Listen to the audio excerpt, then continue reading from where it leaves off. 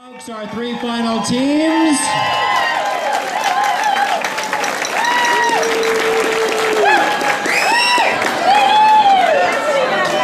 Let's hear from them that did an amazing job. First was Karen and Gabriel.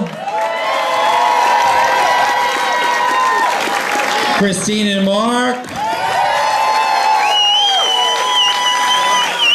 And Carmel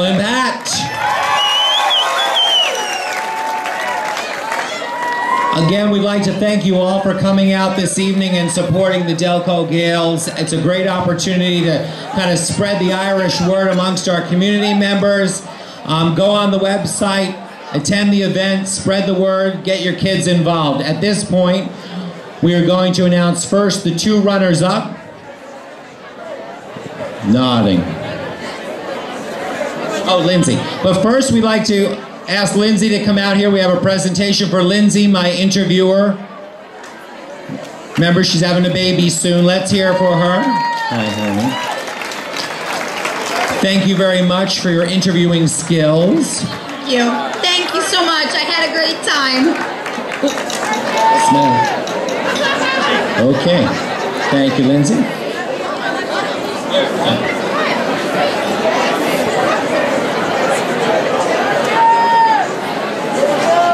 Thank you, thank you very much.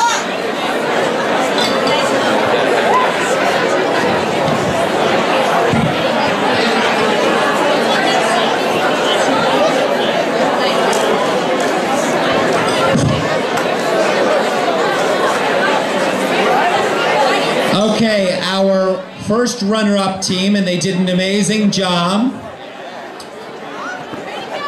Marilyn and Elvis would have been happy and pleased by their performance. Carmel and Pat.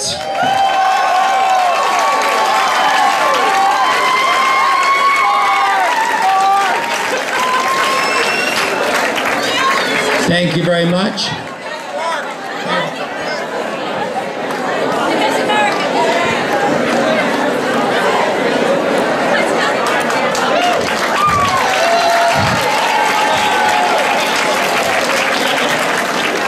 The Marilyn Monroe mole, I mean, it's just, it keeps moving body. parts. Yes. No, Now, ladies and gentlemen, we're going to announce the winner. Now, I don't know if you know this. These are things that I share with just few people. But I actually host the Miss New Jersey pageant. This is where the two contestants usually hold hands and say, I hope you win, I hope you win, I hope you win. And really, they're thinking, if your name is announced, I'm going to kill you. All right? So, since we're not at a beauty pageant, I'm going to announce first the runner up, and then I will announce the winner. If the runner up, if the winner is not able to fulfill their duties through the year, then we're going to move the runner up into that spot. The runners up are Karen and Gabriel, Christine and Mark are the winners of this year's Dancing Like a Star.